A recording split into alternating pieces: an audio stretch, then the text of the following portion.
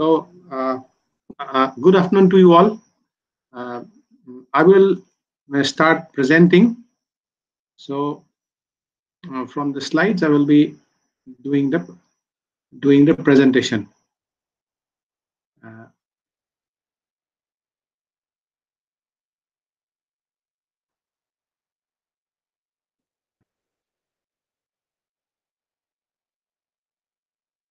So so the so the talk today is uh, titled as pattern recognition and classification basic concepts. So these these two broad broad topics in some more uh, details shall be covered today. The basic concepts the the nitty-gritties the the statistical and the and the mathematical foundations will be uh, covered here for both pattern recognition and classification part. Since this forms the basis of the learning systems, subsequent classes will uh, will uh, require the the background of both this pattern uh, recognition and classification together, but in but in different forms. Therefore, a a broad broad discussion uh, a, in some some detail on the pattern recognition and the classification part is required. So first we start with the pattern recognition part. There we will be roughly talking about the, the definitions of pattern recognition, components of pattern recognition, and, uh, and the basic methods of uh, pattern recognition. So definition of a, uh, of a mm, pattern, we can we can roughly say that a uh, pattern could be a piece, a body, a group of items, uh, so on and so forth, that has some that has some commonality in a uh, mathematical form that can be uh, represented by a vector uh, small x. So this small x will be representing a pattern vector where there can be a number of uh, pattern samples small x1, small x2 dot dot uh, until up to until up to small xn. So here these can be representing uh, biometric patterns. These can be representing the eyelid. These can be re representing a speech. This can be representing a face. This can be representing a uh, gesture or a hand. So all these different forms of real life, uh, real life patterns can be can be covered by a pattern vector that small x. So the uh, so the fundamental uh, link between pattern recognition and classification lay in the fact that we can have a group of samples like say A, B, C, D uh, written together. So the recognition and the classification part will require that these these categories uh, the categories formed in the sample set must be separated out as category A or as category B or as category C like that. So the, the fundamental um, task that a pattern recognition classification system does is that it separates out the categories in a given set of samples. Now there are distinctions between classification and clustering. Last time we have uh, talked something about supervised and unsupervised classification. Now, uh, classification uh, into categories is mostly a, a supervised phenomenon. That is a supervised process. Therefore, in a supervised process, we normally have a, uh, a uh, prior knowledge, and with that prior knowledge, we um, uh, group the we group the uh, we group the samples we group the uh, categories into separate separate classes but there are some uh, prior reference prior uh, mm, labeling or knowledge is required. But in the case of the clustering part or uh, or where there is a is an unsupervised uh, component, there is no previous knowledge, there is no prior prior labeling, there is no prior uh, prior know-how regarding the pattern classes regarding the uh, pattern samples. Therefore, they they do this classification or this group of technique carries out the classification by finding out the commonalities between the components, between the groups, between the subsets there in the pattern sets. This, this part is done by doing clustering. They will find out the commonalities between them. They will find a sample mean, and around that sample mean, the samples will start to start to group, and they form a cluster. So these are the two two fundamental differences uh, that separate out classification and clustering. One is based on the supervised principles, and the, and the remaining one is based on the unsupervised principles. Now, the main main purpose of doing a pattern recognition or a classification is to separate out the data that belong to different classes.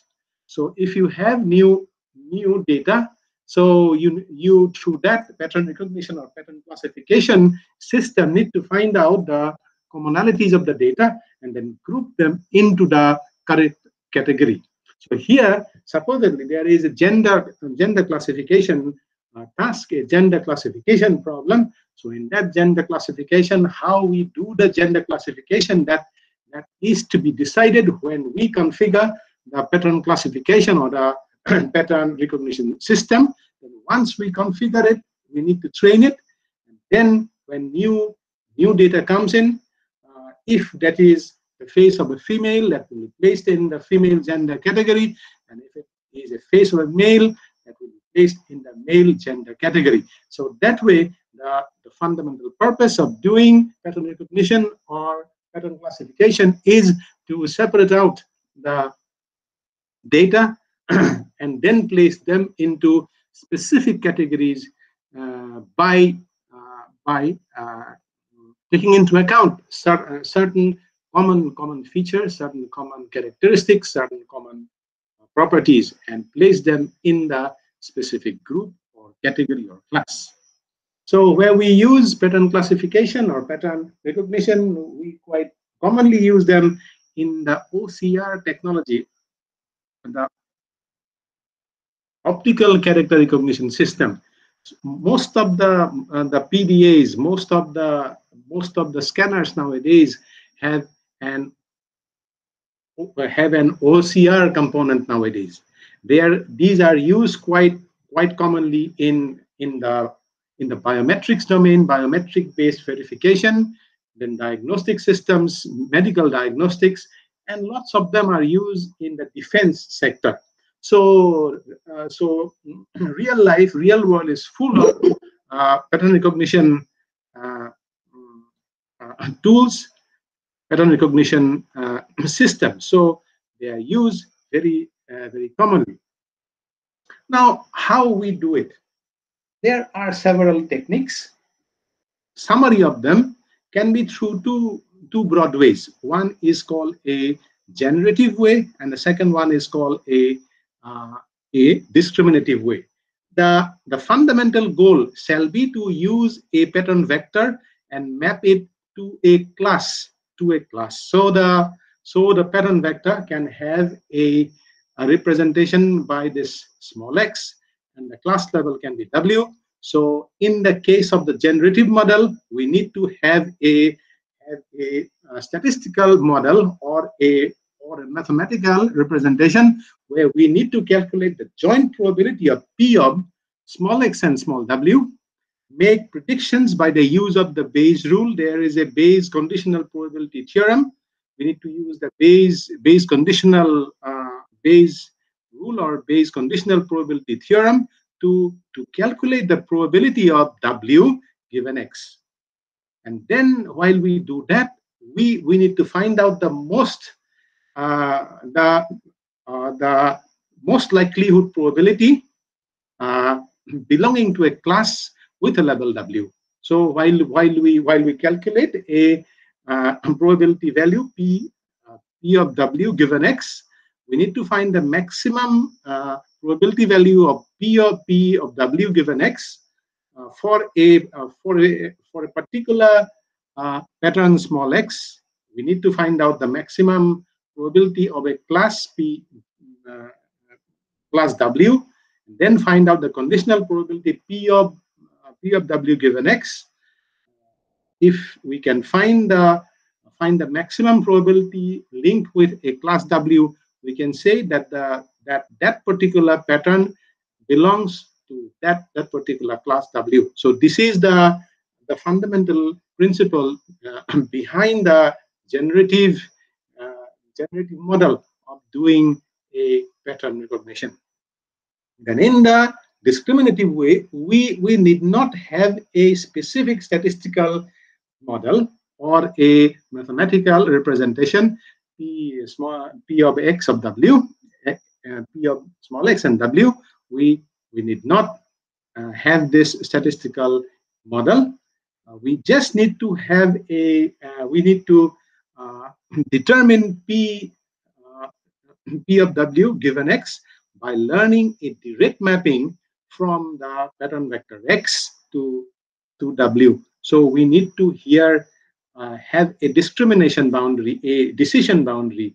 We need to calculate discrimination boundary and pick the most likely class, class level W so that the discrimination boundary is laid best or the discrimination boundary is formed best.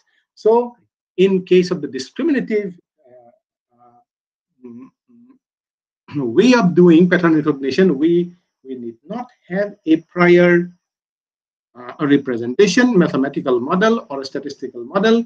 We just need to learn the way of, uh, of direct mappings from small x to w. So if we can do that, uh, and we find the best best way of laying the boundary, we are sure we, we will be doing a very good pattern recognition. So this is these are the two broad ways of doing uh, pattern recognition so how how to how to model uh, the the p of x and w? So this is normally done with the with the statistical tools. Mainly you will find a uh, probability density function. Broadly a gaussian function will serve the purpose. Therefore you can have a uh, probability density function given uh, by this by this gaussian function for the male class and red one representing the female class. So this is the the training condition. So the so so the testing condition will will require to find the best match between the probability density functions uh, between the male and the and the female classes if it the test uh, test pattern comes close to the male class, that will be a male face. And if it comes close to the female class, then that will be female face. So that way we can do the, the classification by the use of this statistical model as uh, done by the generative way of doing classification. So here the key, key challenges shall be the intra-class variability. That means if we are dealing with the with the letter T. So there can be lots of variations of the T. So that is one of the one of the one of the challenges which which the statistical model may find it hard to deal with. And then we can find the interclass variability.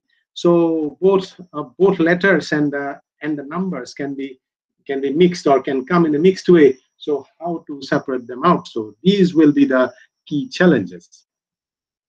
Now, in the in the practical case, in the in the practice, all all pattern recognition techniques are are broadly classified as statistical pattern recognition, structural pattern recognition, and the learning-based uh, pattern recognition that are based that are uh, run with the help of the of the ANN or nowadays uh, deep learning tools. Now, in the in the statistical pattern recognition, there will be a governing uh, statistical uh, tool, a statistical model, so that that that particular statistical model uh, will uh, will cover the basic um, basic uh, considerations of uh, statistical pattern match, and then grouping them in specific classes but in the in the structural class or the or the syntactic class, there there shall be formal formal grammar, or there there shall be formalized structure. There will be specific grammar.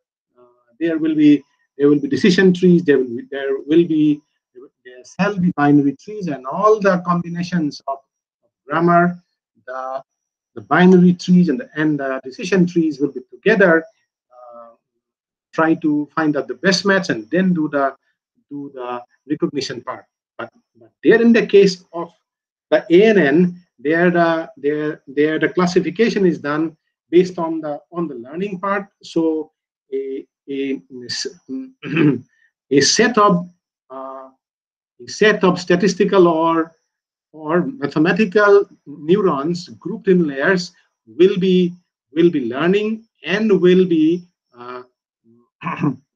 mimicking the biological brain and work in a connectionist way so that no direct mapping is required uh, so no no uh, no statistical representation is required to do a direct mapping from the pattern side to the to the class side. So here uh, we we find that uh, that the learning based tools are very much uh, resilient because the dependence part is less. The, uh, the dependence part on the sources characteristics, the statistical nature of the sources do not play a very significant role. So the so the basic concepts shall be there will be a, there will be feature vector, there will be built-in state uh, in the in the uh, pattern represented by small y, and there we need a decision rule q that will map the the feature vector x to the to the to the class y and this will be done in the three three different ways. One will be the statistical way one will be the syntactic way and the third one will be a learning learning based way. So here we can uh, we can talk about how a how a classification can be done. So we can have two sets of two sets of features, one, one linked with the height and one linked with the weight. Uh, so the height and weight can form a feature vector of a jockey hoopster recognition. So here we have a built-in state y uh, that is represented by h and j is a is a function of this uh, h and j um, parameters and the and the feature space is r square. So since there are two two different types of types of uh, mm, features so they will they will represent a two, two dimensional uh, space. And then we have a we have a classifier. That that particular classifier will uh, will uh, will classify between the class uh, the capital H and the and the capital J.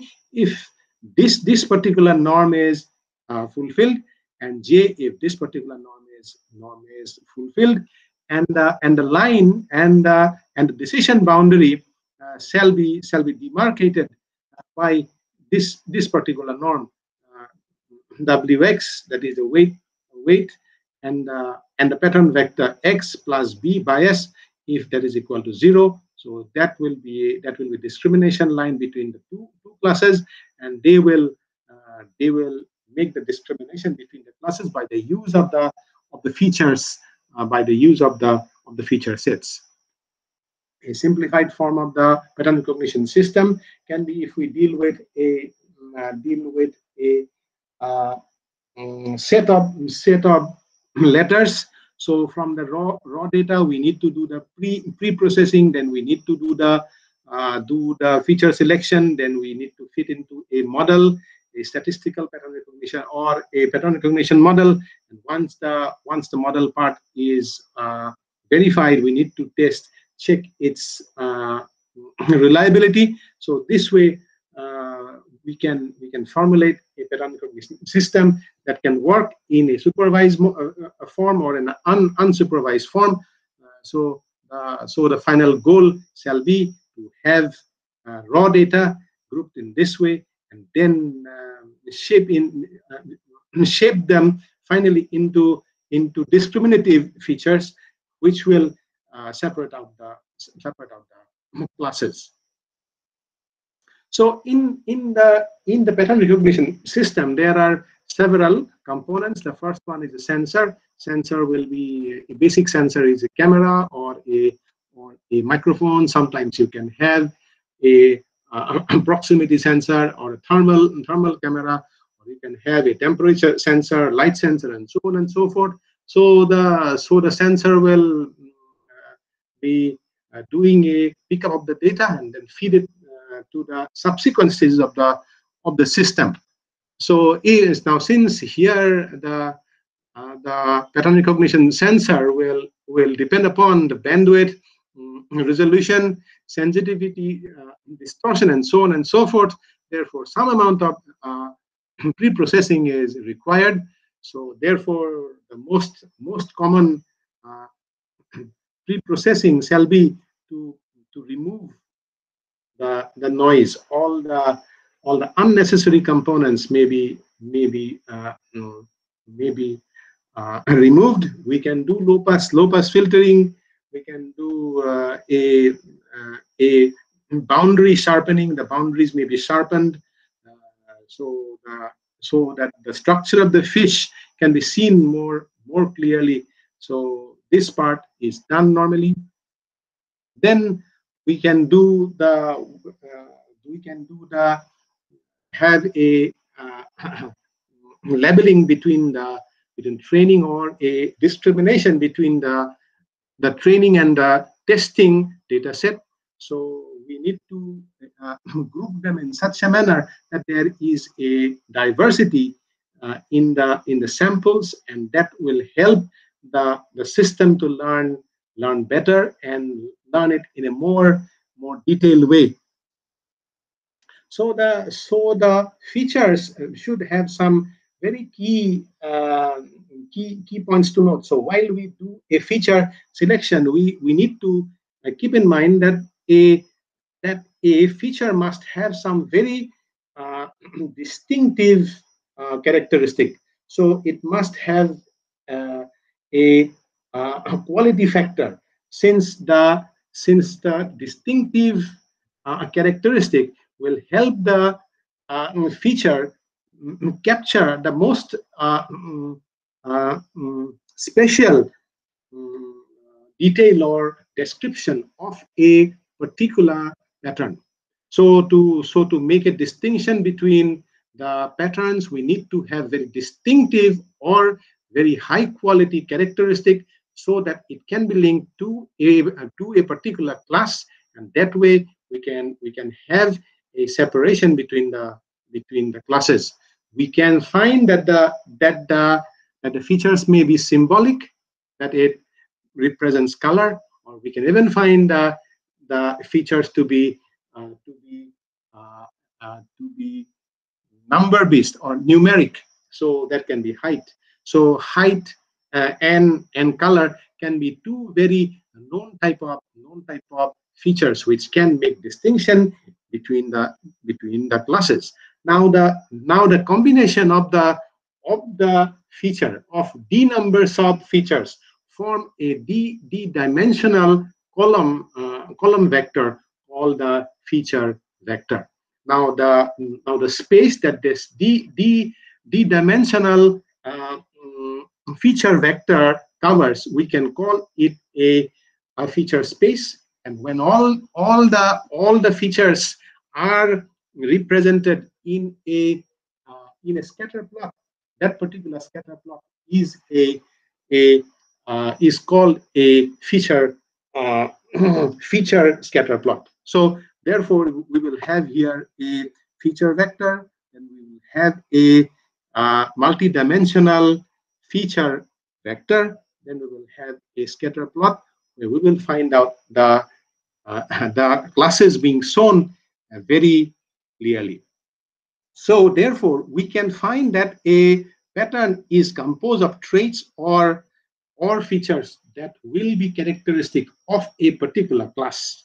So in the in the classification task, we can have a pattern pair uh, of of variables small x and w, where the X is a collection of the of the of the features and the W will be a concept behind the behind the label or observation. So uh, there, there we need to know uh, how the good features and the bad bad features are are distinguished. So a good good feature and a bad bad feature are distinguished. Good good features and bad bad features are distinguished when we uh, find that uh, that the that the features uh, mm, facilitate a uh, a satisfactory grouping in the in the specific classes and they are separated well by the by the by the discrimination boundary. So so here in the good good features we find that the that the features are uh, are well laid in both sides of the both sides of the boundary. So they are they are they are grouped well. But but there in the case of the bad bad features we find that there are not sufficient uh, uh, discriminating characteristics for which we can have a we can lay a satisfactory decision boundary to separate them out. Now, more uh, more very uh, popular feature properties are they should have linear separability. They should also have nonlinear separability. And separability. They should be high. There, there can be highly uh, correlated uh, features. We can have even the multimodal uh, features. So these are some of the more popular feature properties. Now, how to do the, the feature selection? Now, to have to select good set of uh, features, we should first find out if the if the features have some uh, discriminative properties, if they have some uh, some discriminative characteristics. So, uh, so the discriminative characteristics must uh, permit us to to define good good features or to define bad uh, bad features. We must have one more type that is called the called the invariant uh, mm, features. That means uh, if there are geometrical or geometric transformations like translation, rotation, and scaling, there should not be any variations in the in the um, feature properties so uh, so if they if they if these um, characteristics are are found to be um, to be true for a generated uh, feature sets these particular feature sets can be learned uh, by learning based uh, systems and these can be used subsequently for doing a proper classification. Now there are ways to form uh, form multiple multiple uh, features because these play a very significant role in the reliability of a of a pattern recognition systems. Now we quite frequently find that very simplistic features may not yield very reliable uh, reliable performance so therefore, the use of combinations, the use of feature combinations may yield better, uh, better performance. Therefore, uh, you can you can have a, uh, a say combination of features like lightness and width. So the so the so the so the so the lightness and width can be quite uh, um, quite reliable in making making discrimination between the sea, sea fish like the salmon and the sea, sea bass. Therefore, a, uh, a combination of, of features give us very satisfactory uh, performance. So how many how many uh, how many features do we need, or how to how to fix that number of number of features we need we need how to fix that? So that that there's no such specific rules yet we need to we need to carry out some uh, statistical trials to find out the number of number of features that will be good for our work. So therefore uh, we need to find out uh, if uh, the number of number of feature sets that we have selected uh, will be quite uh, quite difficult to form or if or if that will be uh, that will be computationally very very demanding to have a lot of now a huge set of set of um, features. We we need to find out the difficulty level and uh, and the computational requirement while we fix the number of number of features that we will use in a uh, pattern classification problem.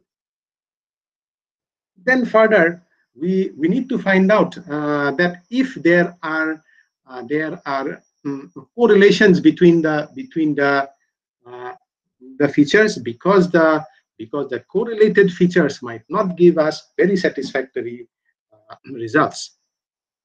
Then there is one one big factor that if we want to use lot of lot of uh, features and we have a huge set of features, we should be very much uh, conscious regarding the curse of curse of dimensionality because the curse of dimensionality uh, is a detrimental factor for the design of a uh, reliable pattern recognition system. Now, now the now the curse of dimensionality generally will form or will come up to the to the uh, to the forefront when we use too many too many uh, too many features. Now, if we use too many uh, too many features, the pattern recognition system finds it hard to make the make the discrimination.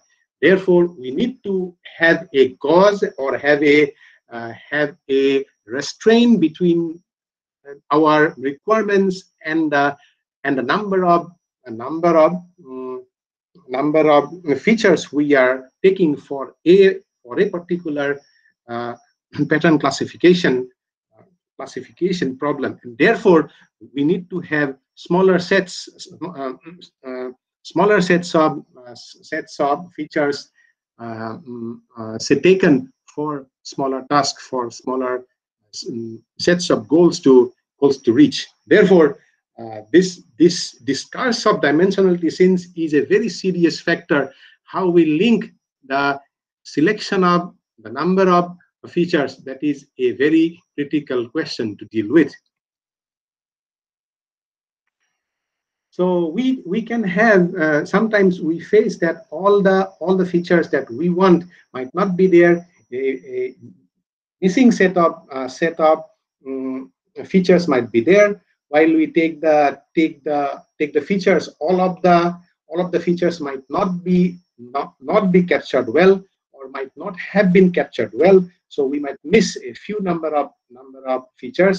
Therefore the therefore the classifier must have sufficient amount of uh, resilience and and capability um, built to it so that it can train well when we face a a uh, condition where we miss a few of the required required features. And that particular resilience of the classifier will give us a satisfactory performance despite the fact that the that the feature set might not be a complete one now uh, now while we while we deal with all these all these pattern classification problems or uh, the selection of of, of features and we have uh, been familiar with the statistical, neural, and syntactic types of pattern recognition problem.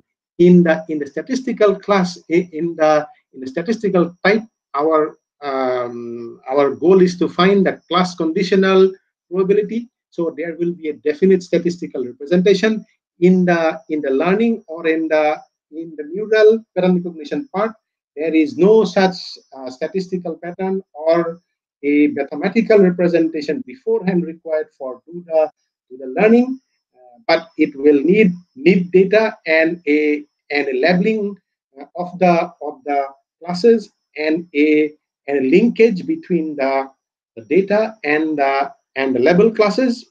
Syntactic, there will be formal formal grammars or uh, or relational descriptions like graphs through which the uh, pattern recognition is done. So a, a simplified form of the of the um, pattern recognition system design uh, perspective can be shown to be like this. So if it is a learning based one, so this A will be uh, will be will be converted to a digitized form. This in the form of uh, this in the digitized form will directly go to a learning based system that can be a neural network. And if we do a statistical pattern recognition then we, we need to find out all of the statistical uh, properties or the or the features, and then we need to find out the maximum uh, class class conditional probability, and if it is a structural or or a syntactic uh, pattern recognition problem, we need to we need to go through the, the formal grammar uh, and the, and the syntax to do the pattern recognition problem. So uh, a very a very simplistic type of uh, pattern recognition problem can be to do a or can be to have a have a design which uh, requires the uh, the recognition of the of the letters uh, like say L P O E Q. So we can do it with a three three structured classifier. So we need to find out uh, some here some here. We need to find out some uh, some say some say features like the vertical straight lines, the horizontal straight lines, the oblique straight lines, and the curved lines. So this will lead to the lead to the formation of a of a feature set. So this particular feature set in this tree type of structure, we can uh, go stage by stage. So yes, no type of uh, type of decision making will lead us to the to the generation of P E L Q D uh, Q uh, Q O. So this type of a tree a tree based or a tree structured classifier is the most simple form of uh, pattern recognition design. So all such things, all such all such pattern recognition problems will have these uh, these um, stages, data collection, feature choice, model choice, training, and its its evaluation. So through these, uh, the the system should go. Now, now in this part, while we do the do the classification, while we do the do the feature selection, we we need to guarantee uh, generalization because uh, generalization uh, is key for dealing with diverse uh, diverse variations that are quite common in the in the real world in the real life situations. So we need to have a classifier that must have uh, that must have um, features that can represent sufficiently all the all the novel uh, novel patterns. So if we want to put stress on the on the generalization uh, characteristics of a particular pattern recognition system, we must have more, more training samples. Uh, we might uh, sometimes have simpler models uh, to yield better, better performance, but uh, we, we need to have generalization capabilities which, uh, which prevents, uh, which prevents memorization because because memorization will not will not permit us to deal with real life situations. So, so generalization uh, will lead to situations where a very complex model can be can be simplified to a, a straightforward demarcation between the between the classes like this. So, uh, so uh, here we will roughly, broadly, uh, shortly uh, talk about the classifier. Next um, set of slides are uh, are dealing with the classifiers. Classifiers will uh, group and group the classes into into specific groups or into into specific domains uh, by uh, by resorting to the the calculation or by by uh, resorting to doing certain rule based rule-based discrimination. So here while we have a set of uh, set of set of features in all type of type of pattern recognition system, we will have certain uh, certain uh, discriminative functions that will uh, that will calculate cost functions that will finally decide to to uh, to the specific class to which a uh, a uh, a pattern set may belong or to which class a particular pattern may be mapped. So we can uh, we can have a broad broad representation of the of the classifier uh, to be to be like this, where we can have a x to be the to be the feature vector uh, fed to a number of uh, number of uh, discriminating functions. So these so these discriminating functions will be forming the forming the classifier block. So one one particular uh, discriminant function will be will be favoring one one particular class for a particular feature belonging to a class. So that that particular discriminating function giving us the uh, the uh, the maximum detection probability will will result in the in the particular uh, classification or particular uh, grouping. So this way, a, uh, a set of classifiers will, with a set of discriminant functions, will do a uh, do a mapping from the from the uh, feature space to the to the classification space. Now, the most uh, most common or the most naive or the or the most uh, popular decision making is the is the Bayesian uh, decision making. That is a is a, is a statistical technique. Is a statistical uh, representation. Is based on a statistical uh, representation.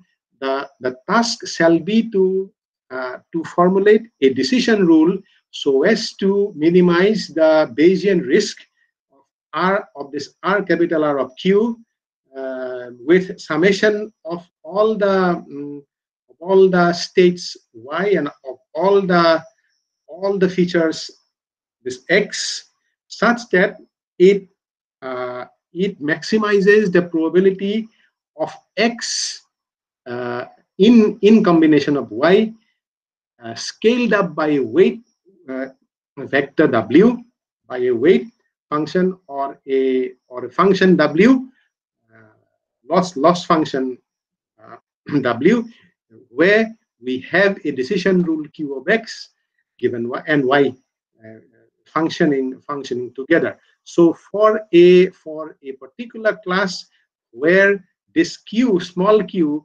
uh, will will minimize the bayesian risk uh, defined by that particular uh, form will lead to the Bayesian decision making, and the and the Bayesian decision making is based on this this particular Bayesian risk. Uh, a uh, a successful classification is based on a on a minimization of this Bayesian risk.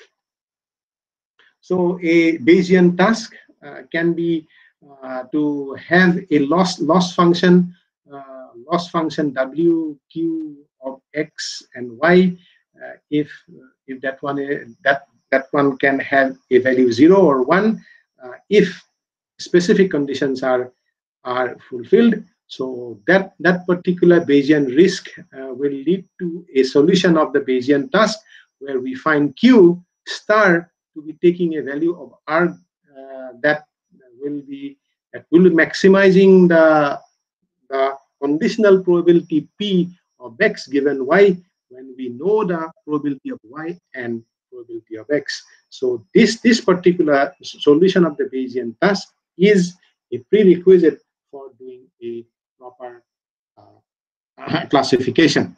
So this will lead to three types of situation. We can find that the, that the training may not be not be proper. So if the training may not be uh, proper, the decision boundary may not be laid well. So the so the samples may show us a crossover from this to this zone or from this zone to this zone. Then we can have a very good good fit like this, where the where the classification boundary is laid well with a few number of uh, crossovers shown. So this is this this this particular good fit is the most uh, desired state for us. Then we find a third state where it is nearly it is quite perfect. All the all the discrimination is done very well. A uh, perfect um, uh, discrimination. Now this particular situation is a representation of the of the of the memorization. That means that the that the classifier or the recognition is a biased one. Therefore, this particular situation can be can be considered to have lost generalization, and this is not not desirable for a reliable pattern classification. So uh, we can roughly summarize um, here the difference between the, the statistical and the structural uh, pattern recognition. Uh, for the for a statistical one, we can uh, see that the, that the foundation is based on the statistical decision theory, while for the structural case, we find that is based on human uh, human perception. Then in the case of the case of the statistical features, you need to have uh, uh, have quantitative uh, quantity features, fixed number of number of features. But then in the case of the structural one, you need to have the morphological primitives, variable number of primitives. It will be capturing the primitives uh, relationship and will depend on the semantics from the primitive coding part. And in the case of the statistical one, we have the statistical uh, uh, classifiers, but then in the case of the structural one, we, we do not have their classifiers, but that is based on, on parsing with syntactic grammars. So how to, how to deal with the statistical uh, performance through post-processing. So we can um, we can see quite uh, quite frequently uh, that uh, quite uh, in real world situations there are there are cases when we can do post uh, post processing which can help us to raise the level of the classifiers classifiers performance. Sometimes from the from the classification we can find that in a sentence like this some of the some of the letters might not come, might not be might not be uh, uh, visible clearly. So in that case, we can do a, a, a post post processing to raise the raise the performance level because if we use this particular as the as a response from the from the classifier its uh, reliability will go down quite quite frequently. People use post processing to raise the level of classification performances. Uh, so then then people have used an ensemble or group of classifiers to raise the raise the performance levels too. Uh, so uh, we can find a number of number of classifiers uh, combined together, being fed with the same type of same type of uh, type of features. So one one particular classifier will give greater priority to one type of feature, while a different classifier will give priority to a different set of set of uh, uh, features. But finally, when we take the mean of of performance of all the classifiers, we find that the that the performance of such a a composite uh, classifier set goes up uh, and it helps to uh, build better pattern recognition system. Then cost of misclassification is quite a serious factor. Uh, so uh, we we can uh, we can see that if we talk about the fees classification problem, so we, we can find mis misclassification taking place when we when we classify a sea bass uh, when it is a salmon, and we then make a wrong wrong recognition of the salmon when it was it was different. Though it helps to to prove that the the classification is a is a bias-free one, yet the yet the misclassification finally lowers the, the classification uh, classification performance. So this we should get rid of in most of the most of the situations and have a uh, have a mechanism through which the cost of misclassification should be lowered. So, um, so to so to lower the cost cost of misclassification, we must sometimes use our prior prior knowledge to help uh, to make the classification performance better. Then, uh, while we do while we do classification, we need to think about the uh, about the pattern recognition systems uh, scale uh, in in terms of features, patterns, and and categories. So the so, so that the so that the computational complexity is uh, say maintained at a proper proper uh, level. Therefore, we need to have certain certain uh, considerations for a for a trade-off between the the computational complexity and the and the performance derived from the from the system. So um, so will there be will there be challenges to have to build a general purpose pattern recognition uh, a system to have a to have a perfect pattern recognition system it shall be very uh, difficult. But we we can do a uh, can build a system that can do well uh, provided we we note that different problems require different uh, different features. Different features might yield different solutions and different trade-offs need to be need to be formulated to deal with different uh, uh, pattern classification problems. So if we can uh, can um, can guarantee these these particular conditions, we can build a, a build a pattern classification system which will give us reliable performance. Now let's go through the classifier in some more more detail, though I, I have talked about in, it, it in uh, some some detail. so this is a, a terminology that we can skip, uh, though uh, we can say that a, a classifier will use a vector, a sample, uh, a sample, a vector from a sample, and then uh, by by considering its specific characteristics, will formulate some some classes. while it while it formulates the classes, it forms some class class codes, and uh, this is done during the during the training part and during the during the testing part. The same thing will be done. Features will be coming in. A sample sample vector will come in, and the sample vector vectors uh, match shall be done with that with a training state. The best match will fall will fall in the specific class. So the so the decision uh, boundaries shall be separating out the the classes.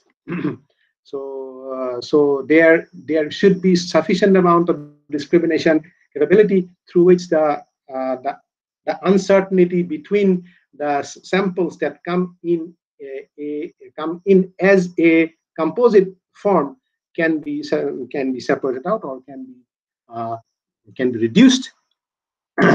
So, uh, so here most of the most of design uh, classifiers must have a generalization capability uh, so that so that during the during the testing time most of the training time characteristics are are displayed and its and its reliability is um, proven to be satisfactory for use with real world samples so we need to have uh, for most of the most of the classification problems or or classification models, we need to have decision region boundaries. We need to have uh, probability density functions, and then we need to have uh, have the have the posteriori uh, probabilities.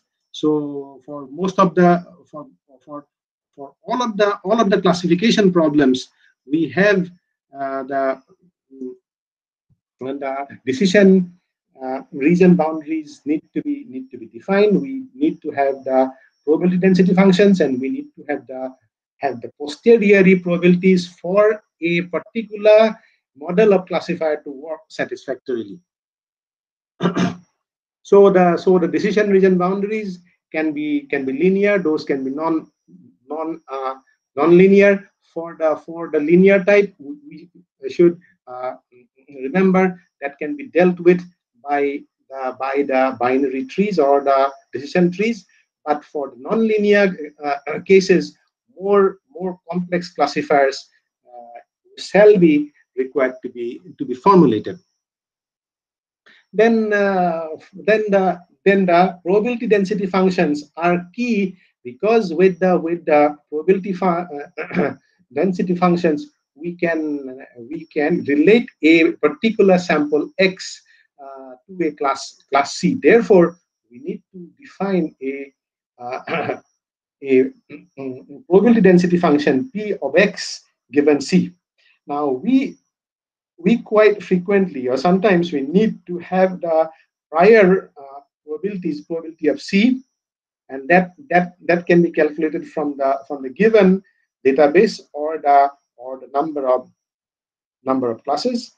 Therefore if we have a classifier that calculates the probability density functions uh, then we can say that this model uh, will uh, will take a, uh, a classification decision uh, by by taking a vector x uh, such that the class class maximizes or the class maximization decision is based on a maximum uh, value of probability of c multiplying uh, probability of small x given c so if this if this uh, particular probability is uh, maximized for a particular vector x then we say that that particular vector x will be belonging to a particular class C.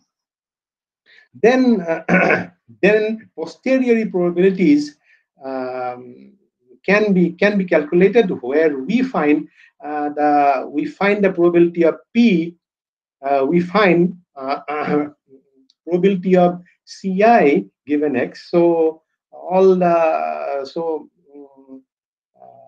so that that we need while we do the do the classification. And if we want to want to uh, uh, reinforce our decision then we need to calculate the posteriori probabilities. So for a for a particular class uh, c so that is being here represented as probability of ci given the the vector x. So if we can have a have a have a maximal value of uh, probability of P, PCI given X, then we can say that uh, the that the class decision is uh, correct because here we have found that the posteriori probabilities are, are maximized.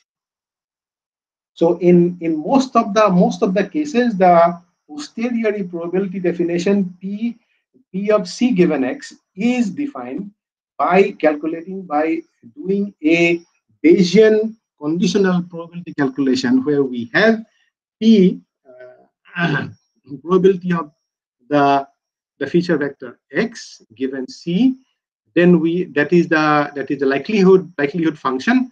Then we have to have a class prior probability p of c. Then we have a have a predictor prior probability p of x. So that way we can calculate the posteriori probability uh, and and finally the uh, the posteriori probability will take a shape of p uh, c given x that that means p uh, p of small x1 given c multiplied by probability of, uh, of small x2 given c multiplied dot dot probability of small xn given c multiplied by probability of c. This particular formula will be will be uh, required as a posteriori probability uh, calculation for reinforcing our decision regarding a particular class. So how do we link it? So uh, we have a data y, so we, we, we calculate likelihood function, keep that in mind. Uh, so once we keep that in mind, uh, that means uh, we we roughly have a picture of the of the likelihood function. So we keep that in mind. So then we find a a uh, a posteriori uh, uh, probability so that a a posterior probability will help us to reinforce our decision, but that will be again used for formulating a a priori probability which will will strengthen the belief that we have in our mind. So the mind here can be a can be a classifier. So we we normally in the in the biological case we formulate a likelihood function from a from a data. We keep that in mind, and then from that, when we do a, a classification, then we we calculate a, a uh, posteriori probability means it is most likely to be the true true class. Uh, that finally uh, will help us to learn the class better. Will help in formulating a a priori probability, which will reinforce the belief in our mind. So that way our brain functions.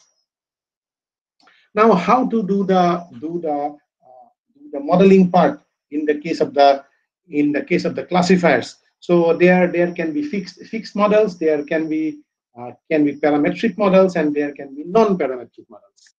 So uh, so the fixed fixed models, you know the the pattern and the and a classification mapping beforehand. So you just need to have a have a have a threshold uh, fix and then know a decision boundaries once you uh, know the know the mapping between the the the pattern and the classes the the growing of the decision boundary turns out to be uh, dependent on the on the relationship between the the patterns and the classes then you can also calculate the probability density density function and then reinforce the decision by doing a, a calculation of the posteriori probability. This way, uh, the fixed fixed models will work. Fixed models generally are very comfortably used when we are considering binary decision making or simplistic decision makings uh, where the where the class count is less or the or the data variation is not not not used. So here is a static scenario. So in this in this particular static scenario, you can use a fixed a fixed model quite quite well because uh, all the all the speed speed considerations are are fixed. So you can very well make make judgments between the between the cars. So if there are three three different cars, car A, car B, car C, so you can uh, you can distinguish between the cars very well by the use of the static uh, fixed, fixed models. So these are good for static scenarios, but these are not good for dynamic scenarios because the because the conditions are here uh, here changing now. For such type of case, uh, so here is a here is a depiction of a fixed a fixed model of a classifier. So uh, you can have uh, a face face recognition face recognition problem. So the so the face recognition problem will have fixed number of uh, faces to deal with. So that way you can uh, you can train a classifier, you can formulate a classifier, and have here a a discriminating function which will be making discrimination between the between the features, and that way find out the, the differences between the, the faces. Now, uh, now for more more complex cases, you need to have the have the parametric model. Now, uh, now parametric model uh, will will require some uh, some definition or will require some statistical property of the source. So if you have data coming from some source, you need to have a statistical uh, representation, a, a parametric characteristic of the data coming from some source is the fundamental uh, prerequisite for forming the parametric uh, classifier.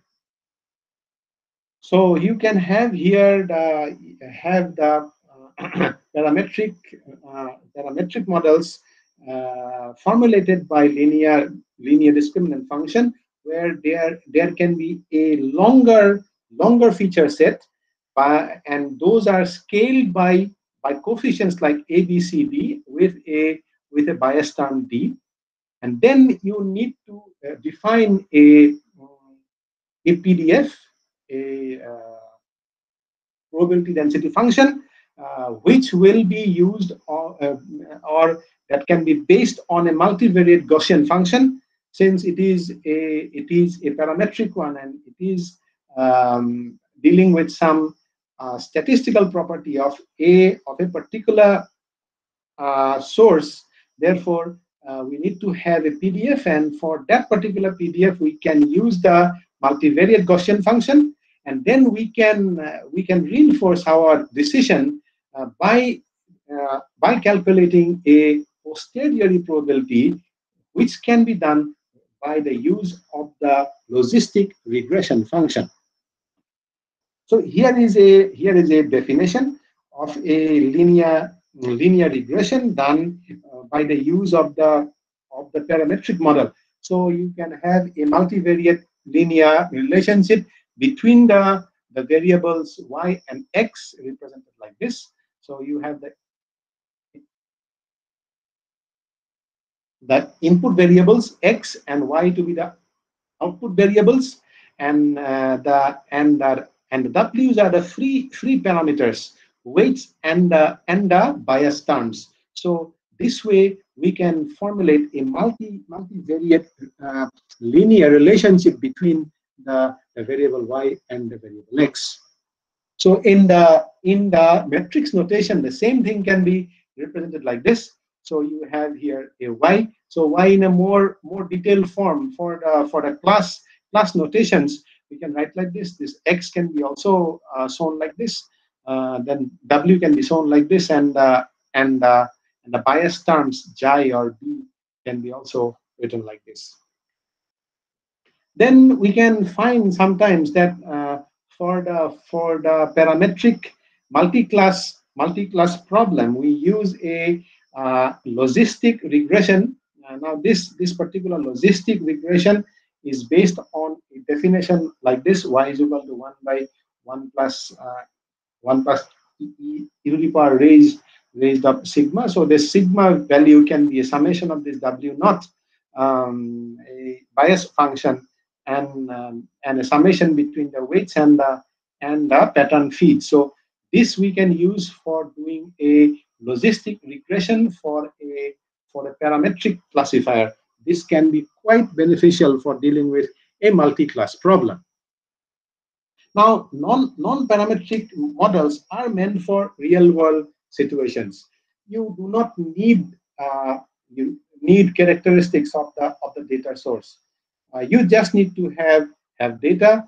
Need not be concerned regarding what are the what are the features, what are the statistical uh, statistical characteristics of the of the of the data coming from some source. So um, these these models of varying smoothness and and complexity are generated and are uh, the one uh, that are uh, that are best suited for for generalization uh, generalization purposes. So non non parametric models are generally best suited for uh, generalization situations, problems. So here you can have non, non-parametric models being built uh, for decision boundary, uh, decision region boundary, where you can use learning vector quantization, k nearest neighbor classifier, decision trees. You can use or can can calculate the uh, the PDF by the use of the Gaussian mixture model or the, or the Parzen window. You can further calculate the posterior probability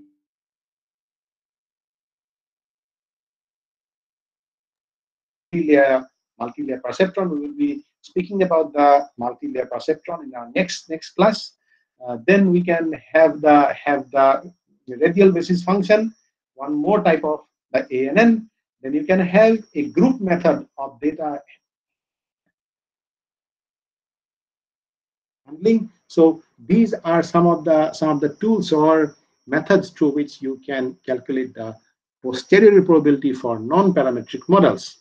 So here is a, a, a depiction of a non-parametric model.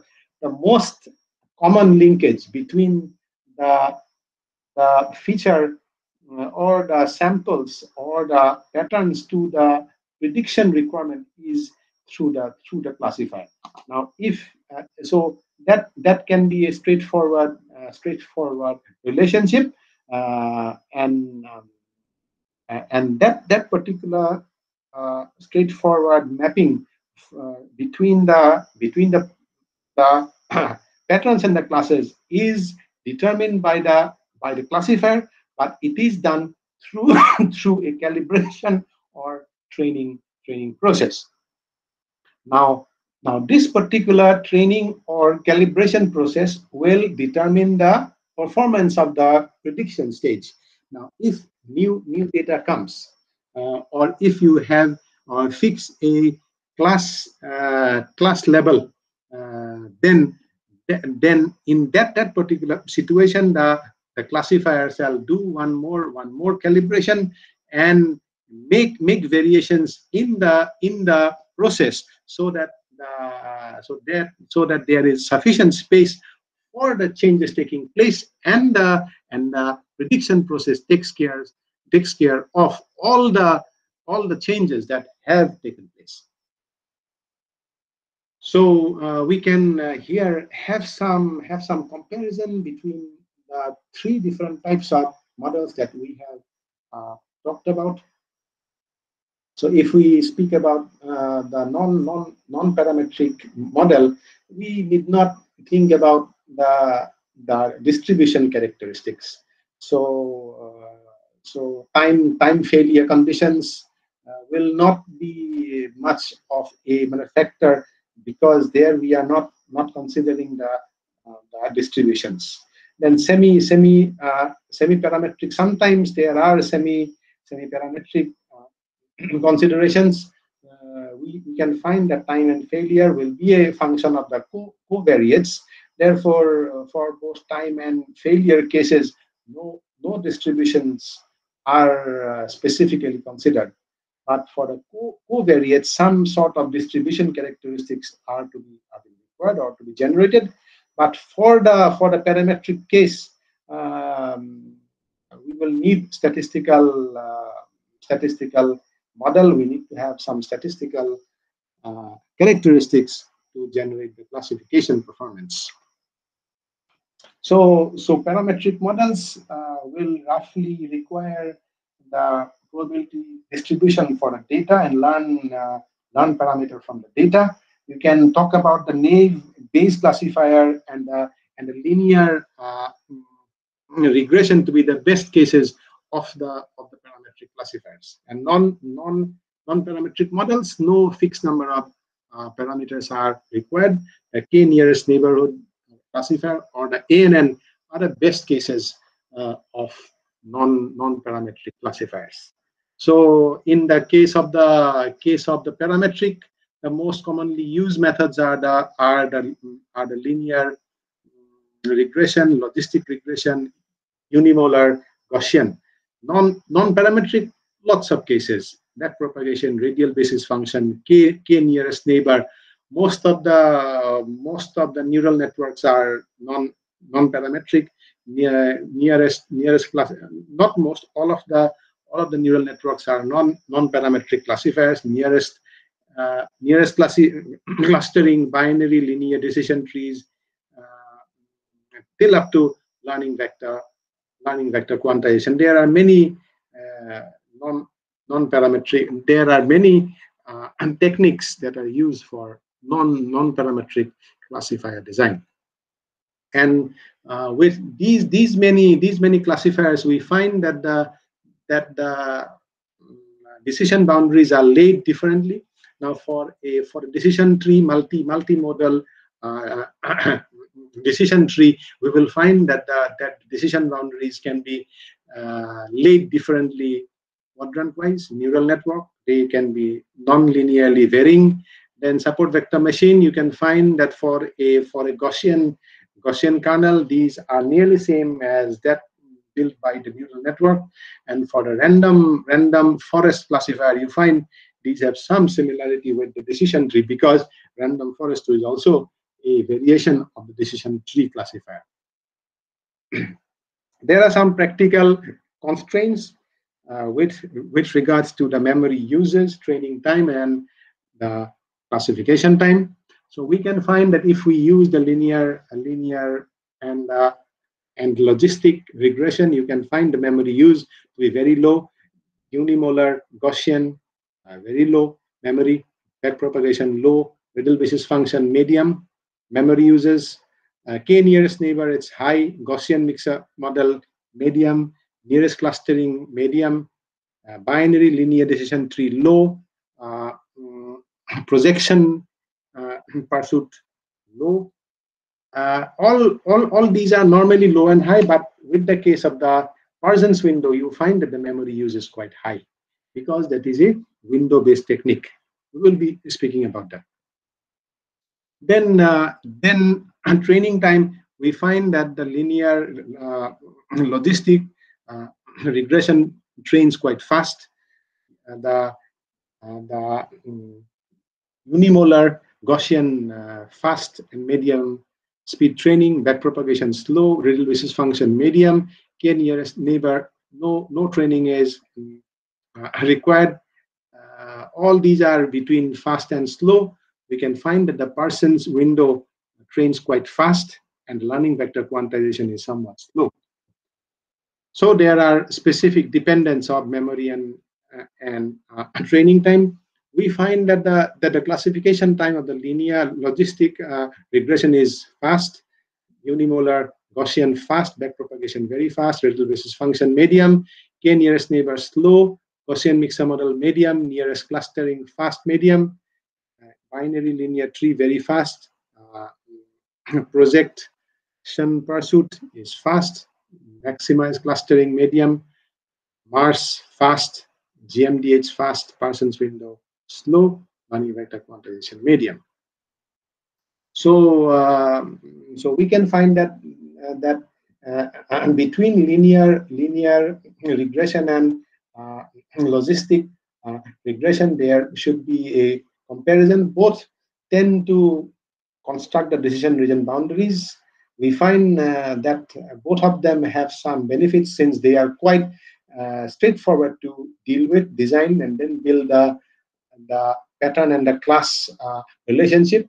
And uh, and disadvantage is that they have limited complexity on the on the on the constructed boundary and this can lead to mis miscalculation or mis misclassification similarly for the for the for the binary tree binary and the and linear trees you also tend to build the, uh, the, the decision trees quite well they are quite straightforward to uh, design and they help to uh, create uh, proper pattern and uh, response relationship, but they have limited complexity of the, of the constructed boundary and the tree structure may not be globally optimal. Then we can talk about the artificial uh, neural network briefly for for comparison purpose, though we have not studied them in much much detail. Uh, most of the feed-forward structures and the and the radial basis functions are uh, quite well uh, to lay the, the decision boundaries, but their drawback is that they take long training time. Support vector machine uh, has quite satisfactory generalization uh, capability. Then unimodal uh, Gaussian, these use the use the Bayesian uh, Bayes Bayes conditional probability decision um, the drawback is that uh, more in some some cases we we find that the that the distributions might not be not be Gaussian, and at that point of time, when we do the do the classification based on the uh, on the calculation of the Gaussian probability density function, we may not get satisfactory uh, uh, performance. So so Gaussian uh, mixture model modifies the unimodal Gaussian in a way that the that the PDF is estimated by a weighted mean of the multiple Gaussian, it's quite it's quite beneficial. K, K nearest neighbor uh, is quite uh, uh, it gives satisfactory uh, performance in while laying the decision boundaries, but its uh, classification uh, reliability is low and large storage is required. So the so the nearest neighbor, lots of data required. Slow slow neighbor uh, lookup. So the search part makes the the computational uh, complexity go up or become high. So Bayesian classifier, it is the the, the statistical classifier. It's, it is based on the Bayesian uh, uh, theorem, but its performance when we build it on the uh, on the decision trees and the selected neural network classifiers, its uh, performance can be controlled or made, made better. So we will not talk much about that. Finally, we, we can find that uh, all of the decision making is based on the Bayesian theorem, that, that conditional Bayesian theorem of uh, a posteriori probability of a hypothesis H, we need to find out. So P probability of this H given X. Uh, when we know the probability of X given H, we need to have the probability of H and the probability of X separately. So this can lead to proper classification. uh, uh, uh mm, just uh, so with these with these uh, so our final goal shall be to uh, go go towards a go towards a naive Bayesian classifier, and it uh, this particular function uh, needs to be uh, needs to be uh, maximized. This particular class probability decision needs to be maximized. So before I end, I would like to request you all to raise one or two questions.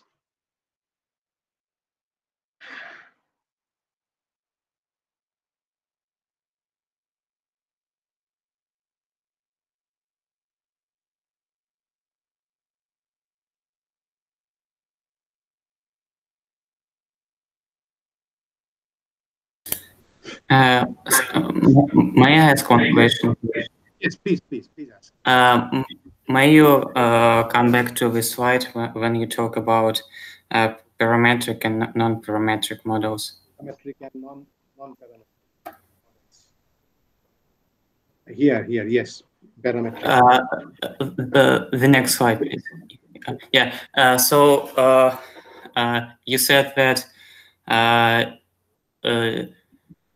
Uh, may I go back one slide again? Back. Uh, yeah, this slide, yeah. Uh, uh, uh and uh, uh, I mean that maybe it's not. I would try to explain it uh, without yes, slides. So you said that neural networks they're not parametric. Not, not yes. Uh, but uh, I, I mean that uh, if we if we fix certain model, we have some certain set of weights. So maybe suppose that these weights uh, their parameters and that we want to estimate or is not right uh, means means mainly the mainly the parametric case you you find that you need to have lot of statistical uh, statistical characteristics. Uh, you need to calculate the first order uh, statistics, second order statistics, fourth order statistics like this.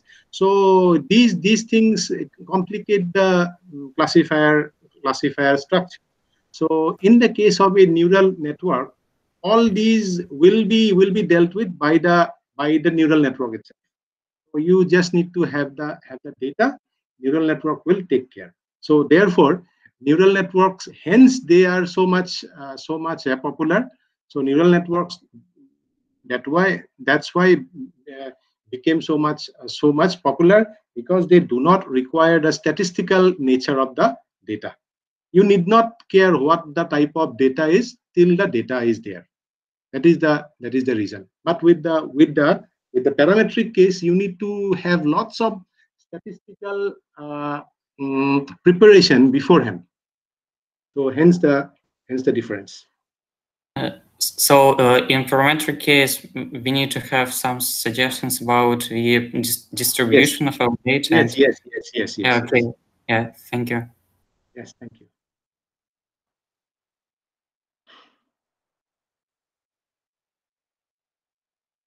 So if there are no further further questions, I would like to stop. Thank you to you all. Meet you soon next next Thursday. Okay. Thank you. Uh, dear yes, Professor yes. Salma, thank, thank you. you. Thank you. Thank you. Thank you. Bye.